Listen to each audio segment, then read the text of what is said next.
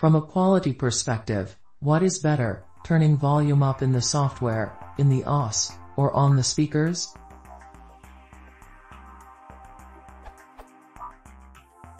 If music isn't loud enough, how do I get the best quality, even if the difference is in fact so small it's negligible?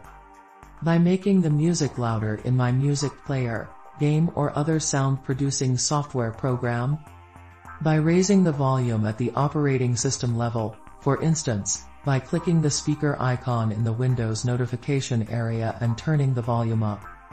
By turning the volume up on the amplifier or speakers that are attached to your computer, and thus changing the volume on the hardware. Does programs versus OS matter? Does software versus hardware matter?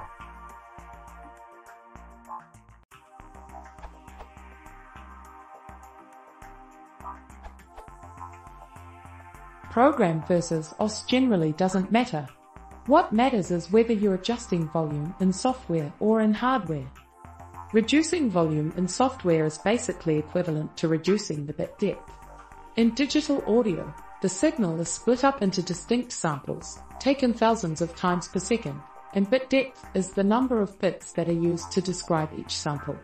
Attenuating a signal is done by multiplying each sample by a number less than 1 with the result being that you're no longer using the full resolution to describe the audio, resulting in reduced dynamic range and signal-to-noise ratio.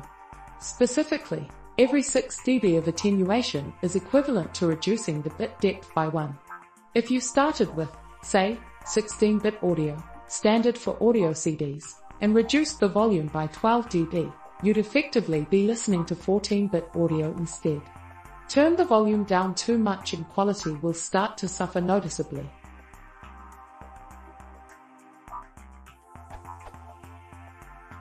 Another issue is that these calculations will often result in rounding errors, due to the original value of the sample not being a multiple of the factor by which you're dividing the samples.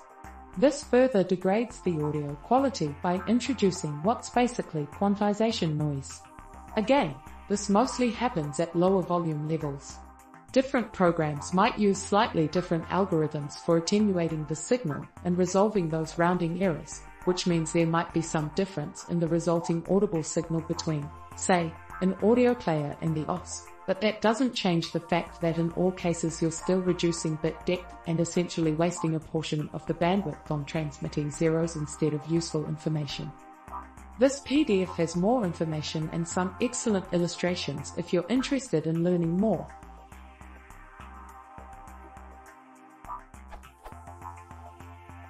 The result of reducing the volume in hardware depends on how the volume control is implemented.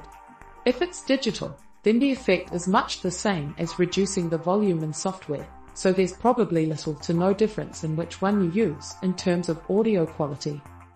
Ideally, you should output audio from your computer at full volume, so as to get the highest resolution, bit depth, possible, and then have an analog volume control as one of the last things in front of the speakers.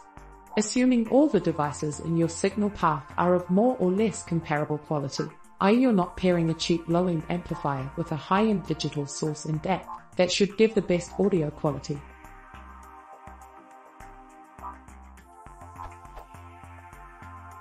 At Joren posted a good question in the comments. So if I want to set software volume control to max, how do I deal with my analog controls suddenly having a super tiny usable range? Because even turning the analog volume to half is way too loud. This can be a problem when the volume control is part of an amplifier, which is probably the case with most computer setups.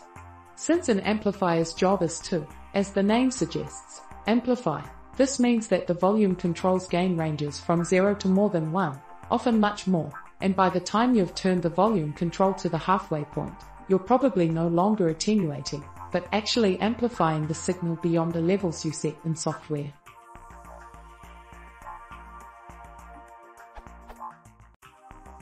There's a couple of solutions to this.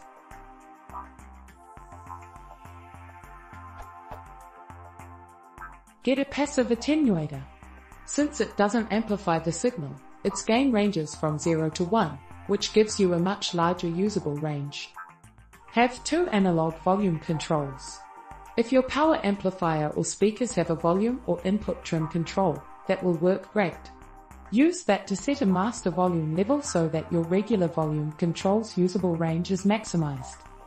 If the previous two aren't possible or feasible, simply turn down the volume at the OS level until you've reached the best compromise between the usable range on the analog volume control and audio quality. Keep individual programs at 100% so as to avoid several bit depth reductions in a row. Hopefully there won't be a noticeable loss in audio quality. Or if there is, then I'd probably start looking at getting a new amplifier that doesn't have its sensitive inputs, or better yet, has a way to adjust input gain.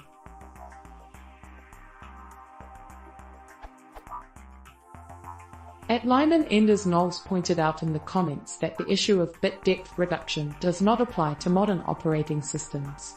Specifically, starting with Vista, Windows automatically upsamples all audio streams to 32-bit floating point before doing any attenuation.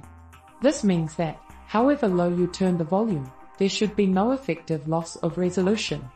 Still, eventually the audio has to be downconverted to 16-bit or 24-bit if the DAC supports that, which will introduce some quantization errors.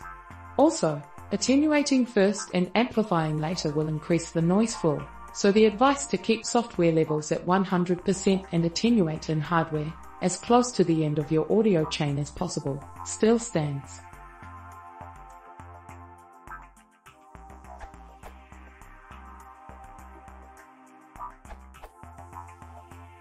Basically, in sound, the closer to the physical source the better, to have a clear signal. Each physical stage will add noise. Earlier, stronger. When a signal is amplified, any noise in the signal will also be amplified. A stronger signal means less noise compared to the signal. Therefore as it gets passed down the chain there will be less noise.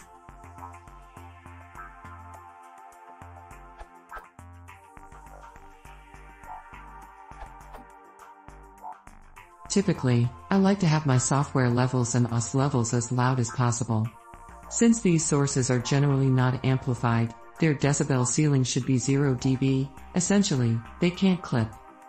I then make sure that this sound goes directly to a single amplified destination, such as digital headphones, via USB, speakers with a volume knob and power supply, or an amp.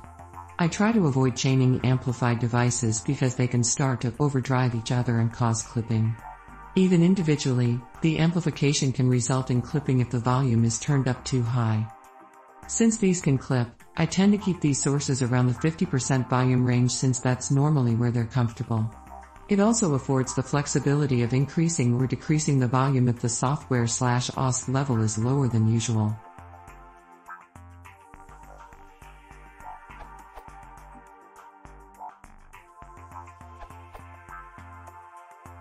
Purely empirical standpoint, when I turn up my speakers all the way, I hear static. I hear this static even if there is otherwise no sound coming out of my speakers. So, I always max out the volume on the computer by maxing it in both the program and OS, and then I try to keep the volume dial as low as possible on my speakers to minimize the static noise. This might be a byproduct of my hash at hash exclamation mark at percent speakers, but I assume many have speakers just like mine.